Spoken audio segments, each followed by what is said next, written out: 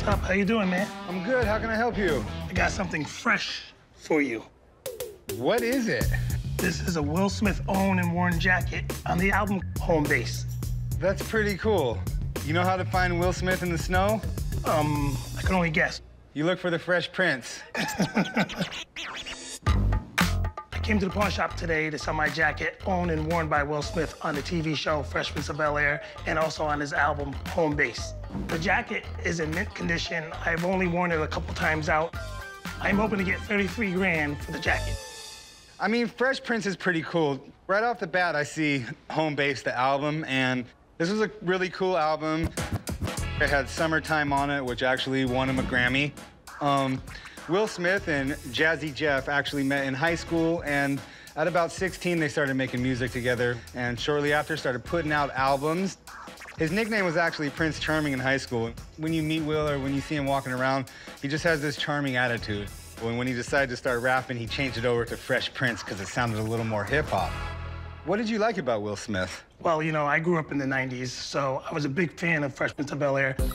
Fresh Prince of Bel-Air was like no other TV show, you know? I actually even think I recall him wearing this in Fresh Prince.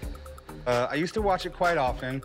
Actually, it was on for six years, 1990 to 1996. But by 1995, Will Smith starred in the blockbuster Bad Boys, which changed his Correct. career forever. He's a household name now.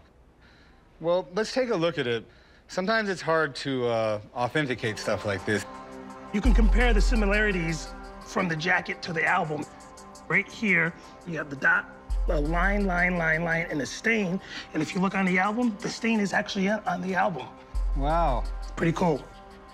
I, I think I see it there.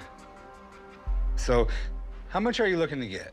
I'm looking for a small amount of $33,000. Um, before I shell out a small amount like $33,000, I'm gonna have to have someone come down and take a look at this.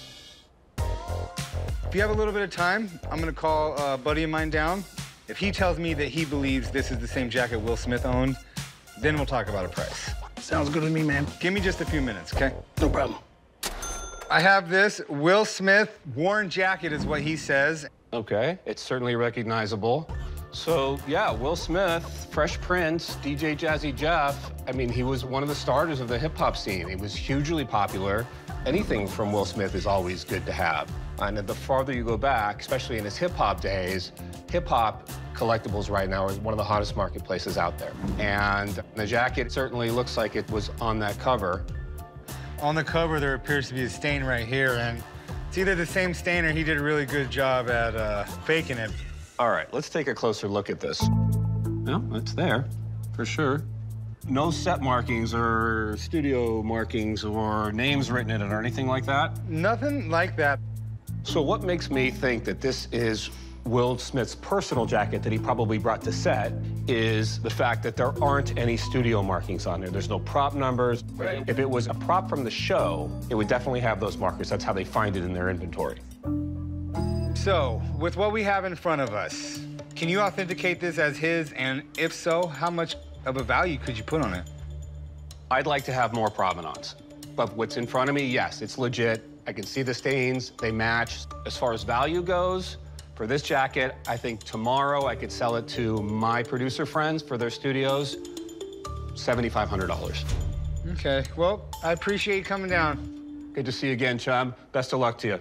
All right, well, you heard what Tall Rob had to say, and he has some bad news for you on the price, but I think he delivered some good news when he told you that he thinks it's authentic. Correct. So with that being said, I would offer you about 4,500 for it.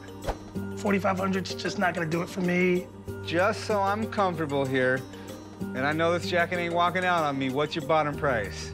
$15,000 would be walking out the door without the jacket, and that's, I'm not even happy about that. All right, well, I'd have to pass on it. Look, if you change your mind and you decide you want to sell it for 4,500, bring it in. Long as the stain's still there, we got a deal. Thank you very much, man. Have a good day. You too, appreciate it. I am glad the expert had uh, agreed that it's authentic, but as far as the value, I think he was a little bit low. I'm sure there's another fan out there who would enjoy this much more than I would if they had the funds for it.